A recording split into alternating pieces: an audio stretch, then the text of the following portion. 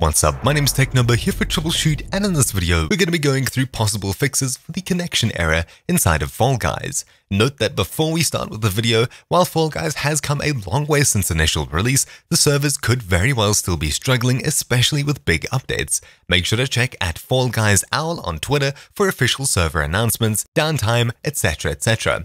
That'll be linked in the description down below.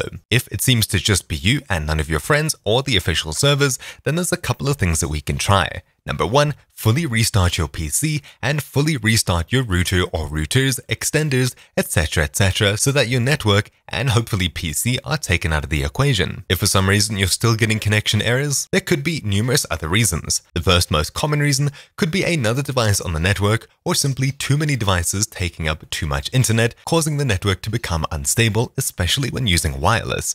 If you can, try and use a wired connection to your router and then off to the internet. Also, if possible, try and disconnect as many devices as possible from your router to ensure that nothing else on the network is interfering with the gameplay. Talking about crowded, make sure that your PC isn't crowded. Hold Control, Shift, and then press Escape to bring up the Task Manager. When inside of here, try and close as many programs as possible. So, i.e., Discord, your web browser, text editors, email clients, music clients, etc., etc., leaving just Steam and the game open.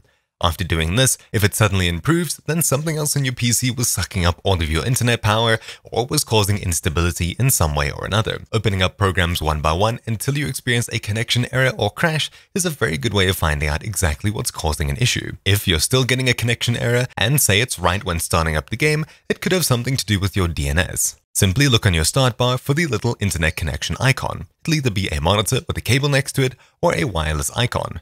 Right click on it and then click Open Network and Internet Settings. When you get to this page, hit Properties under the way that you're connected to the internet, and then scroll down on this page till you see IP settings. Click Edit, and then under Preferred DNS, enter 1.1.1.1 for Cloudflare's DNS solution, and then under Alternate, enter 8.8.8.8 for Google's DNS solution. Simply hit save, your internet may drop out for a second or two, but you can close out of this window and then we'll be clearing the DNS cache to make sure that everything's set up properly and if your ISP's DNS server was causing issues reaching the server, it should be fixed. Hit start, type in CMD, and then click run as administrator when you have command prompt highlighted. You can also right click and click run as administrator. After doing this, simply type in ipconfig space forward slash flush DNS, one word, and then hit enter. Our DNS resolver cache has been cleared, and hopefully everything should be working when you launch up the game.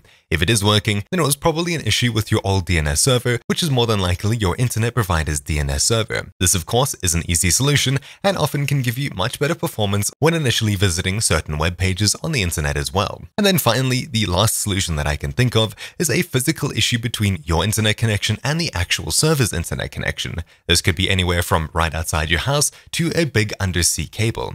Something that we can do is try and take a different route to the server. This is most commonly accomplished by either restarting your router or by using something like a VPN to connect to a local server and then overseas or wherever the game servers are located relatively to you. Of course, it can add a couple of ping, but if it allows you to play the game outright, then it's probably worth 2 or 3 extra ping for a really local server. Now there's many different VPN providers, some paid, some free. While I don't have a suggestion for you, there is a solution from Cloudflare called Cloudflare Warp, which you can go ahead and try. It's a completely free solution as far as I know, and while it doesn't hide your IP address, it does give you a different route to servers, as far as I know. Of course, if you're using NordVPN, ExpressVPN, or anything like that, you can try and use their services as well, but of course, those are paid services. So with all that out the way, hopefully you're able to play Fall Guys now without a connection error. If you're still receiving one, try using a different internet connection, such as mobile data, to find out if it's your PC or simply your local network causing the issue. From there, you should be able to take further steps. But anyways, my name's been TechNobo here for TroubleChute,